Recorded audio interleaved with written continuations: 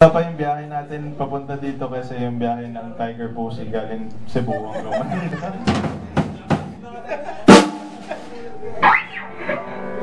Gusto na Franco!